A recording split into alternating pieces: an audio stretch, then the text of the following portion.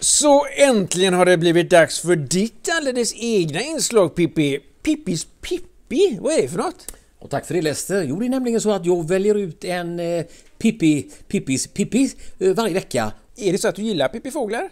Nej, Nej. Och vad är då veckans fågel? buttergök. Ser vi den i bild här?